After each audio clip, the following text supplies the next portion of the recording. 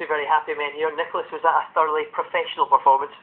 Yeah, I believe so. Um, we didn't get the job done at, the, at their place, and I think we, after the disappointment, there was a big thing to, to ask of us, and I think we, we delivered it on the night.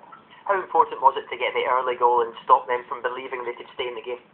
Uh, I think it was important to set up horse and know that they couldn't just sit back. Um, so us, it meant that we got more space, and we took full advantage of that. And for you, three goals, your second hat trick for Arsenal, you must be delighted. Yeah, I was very pleased with it. Um, obviously, uh, the penalty helped a lot, so uh, you know, I was, I was very happy with that. Safe to say nobody was taking the ball away from you before the penalty. Uh, yeah, but to be fair, I was already on penalty before that, so uh, either way, I think I, I would have taken it. But uh, yeah, if someone else maybe would have been in a hat trick position, I maybe would have let them take it. Manu, you must be delighted with that tonight after the weekend. Yeah, of course, you know, after um, the Carling Cup, know, the final against uh, Birmingham, you know, we were very, very disappointed about the result. But uh, we tried, you know, we tried our best to forget that game and then uh, things about that main game. So we are so happy to win that game. Two very different goals from this man next to me and a penalty as well. When he's in that kind of form, he's very hard to defend against, isn't it?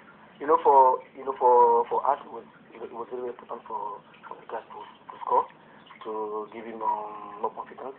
So now you have to happy for for him, and then uh, I think he's going to play like this and then score more goals for us. And Nicklas scoring goals is going to be so important now to the rest of the season, especially if Robin van Persie's out for a few weeks. Uh, yeah, you know, Robin has done done smashing for us, and uh, we we wish him a speedy recovery to to come back quickly.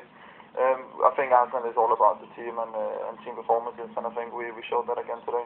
And a nice easy quarter final for you away at Manchester United.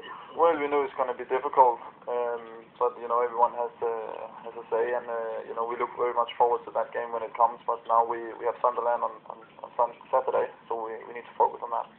Nicklas, well done tonight. FA Cup Man of the Match, sponsored by E.ON. Congratulations. Oh, you? No, no, it's for you, Nicklas. Oh, okay. Thank you. He tried to take it, but it's yours. Come on, Well done, I'm sure. Thank you. Well done, I'm sure. Thank you. Thank you.